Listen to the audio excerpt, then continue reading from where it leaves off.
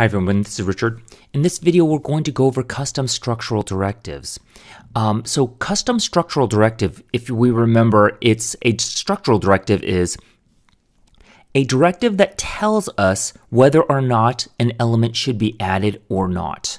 So it will either add an element or not add an element to your to the DOM or to the web page itself. Okay? Now, if you think about it, that's an all or nothing proposition, right? You're either going to add the element, it's just going to be displayed, or it's not.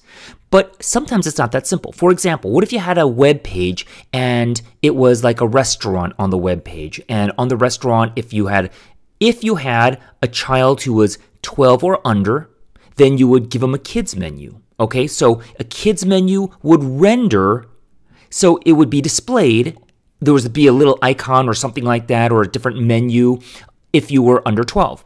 But if you were over 21, it would render a alcoholic beverage menu right inside of here.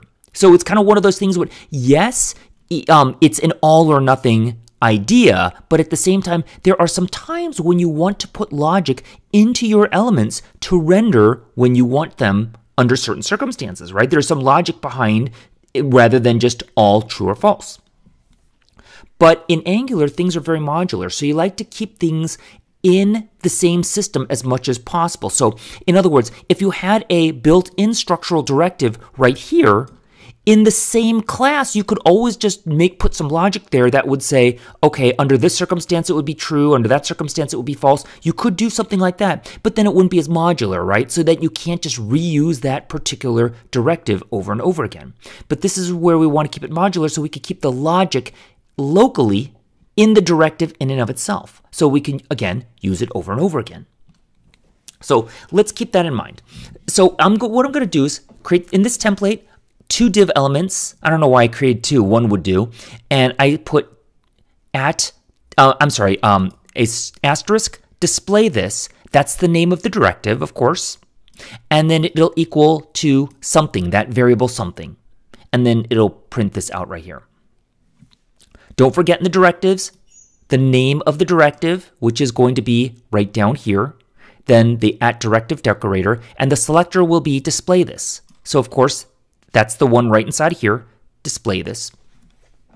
And so asterisk display this means it'll activate this directive. And again, one last time, sorry to be repetitive, some directive, it will be imported in the directives section. Now we see two different new classes right inside of here. And if you remember from previous videos, this is dependency injection, right? So the um, classes that are built into the system injects their members, in, injects their members. Um, it it, it um, injects uh, their variables, let me put it that way, inside of this particular class. And so what we'll have to do is look at some of these. These are automatically built in. What's a view container? Let's go over that first. A view container, basically, it is a DOM element. So basically, it's a built-in DOM element whenever you see some, some selector and it happens to be a directive, it'll build a DOM element right inside of there. And what it will actually do, what the view container is, it's a, um, a specifically DOM element. It's sort of like a div element in the sense that it doesn't actually show anything on the screen, but it it's basically a placeholder. And what you can do is use this in order to add or not add DOM elements. Okay, so if we take a look here, view container dot, let's see some of the methods right here. The create component, so you could create a component I don't know how to actually use something like that, or create embedded view. So what we're doing is by create embedded view, we're actually allowing the um, a an element to be rendered, which is what we're going to use onto the screen. Okay, so as part of your web app. So it's a means of getting your element to be displayed. And by the way, just like I think I mentioned this already, it, it, by displaying these elements, they are siblings to the view container. They're not children, they're siblings to the view container element itself. And we have to just keep that in mind for the future. I don't think it's going to make a big deal right now, but just if you're going to be trying to manipulate it further on in the future, we'll have to keep that in mind. Template ref. What's a template ref? Well, if we remember the element ref, that's basically just a, um, what is it? It's just a wrapper for the element itself. A template ref, actually, it's a wrapper for the template. And so what, what, what is a template? Well, a template, I refer to the template tag itself. So the template tag, if, if you don't remember, it is a element. I didn't go over this a lot because honestly, I don't even didn't really even know much about this. It's a, it's an element that if you have it on your web app or your web page, the when it, the page loads up, it does not actually show the contents of the template, but you it's there that you can access. That if you're going to use JavaScript or Dart or whatever, you can actually get this information in the template tag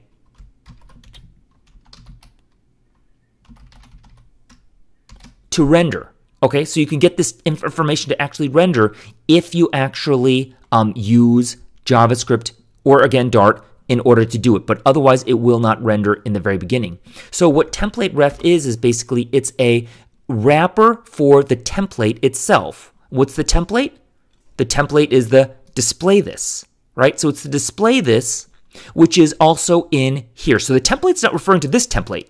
It's referring to specifically this template which contains this element itself. Okay, so I, I hope that's clear. That's a little bit confusing to me. So we're getting this, it's just an element here.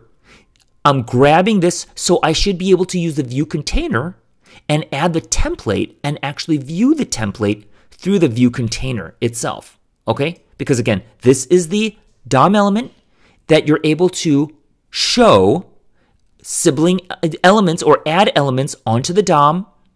And this is one of the elements, the template, which will not be displayed initially because that's the characteristic of it, but it will be displayed again. Why you can't actually just view container and add the element on top of there, I haven't figured that out yet. Maybe in a future video, okay? So here is now our logic. At input decorator, it's going to be in the at directive, okay, so to make it nice and modular. At input, I'm going to say set display this right here, set display this, and I'm going to use this list something. Okay, notice the scoping. I always have to keep this in mind. Scoping something, it's in a different class, but because we go way up here, right, display this equals something, that something is accessible to us down here. Okay? So list something. If something, here's our logic, position 0 equals 1, then I'm going to say view container dot create embedded view and view the template which was previously not seen. Otherwise, view container dot clear. Okay? Let's see if that works. So this is something, this is something else. So it actually does work by displaying these because this logic is true. What if I was going to say this equals 10 should be false. Therefore, it's going to go here, view container dot clear. So it's basically going to show you nothing. Okay? Just to show you it didn't break or something like that.